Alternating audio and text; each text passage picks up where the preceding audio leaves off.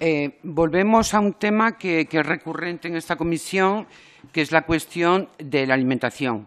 Estamos en una cuestión que es el ABC de la vida, o sea, estamos hablando de comer y de beber. Y parece que lo atacamos por aquí, por allá, pequeños flecos, pero esto es una cuestión que debería estar en el centro del debate político de una forma seria, no haciendo PNLs, apuntándonos puntitos, unos grupos y otros, sino pensando en la importancia que tiene, que es vital, pensando en la ciudadanía y pensando en recobrar las riendas de un asunto que ahora está en manos de las grandes multinacionales, que es que es el origen de todo el asunto.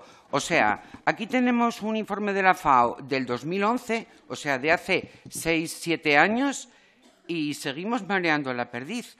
Mm, esta PNL, claro que tiene cosas que están bien. solo que se plantee este tema eh, ya nos parece bien, pero está lleno de ambigüedades, lleva demasiadas cosas. Eh, se habla de la ruptura de la cadena de frío, que nos parece un tema resbaloso. Eh, se habla de beneficios fiscales, a quiénes y por quién.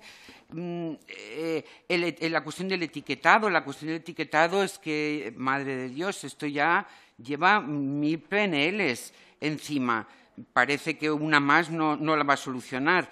El, tamaño de los envases, no se habla del granel, eh, no se habla de la economía circular, como decía mi compañero ahora mismo. Esto es un asunto muy serio. Se debería mm, hacer un trabajo conjunto, cada uno que aporte todo lo que sabe todo lo que tiene, pero esto hay que ponerlo ya en marcha. Ojalá pudiéramos ser inocentes y, como decían ahora, no es que el consumidor, no, el consumidor es una víctima de todo esto de, unas etiquetas incomprensibles, de unas ofertas que tiene que aprovechar porque su economía no le permite otra cosa, que se lleva una bolsa así de grande de manzanas que la mitad van a ir a la basura porque se van a pudrir. ¿Quién controla todo esto? ¿Quién controla la publicidad? Pues mírenlo porque lo controla la industria alimentaria. Y este es el origen de todo el asunto. Entonces, en este caso, nos vamos a abstener.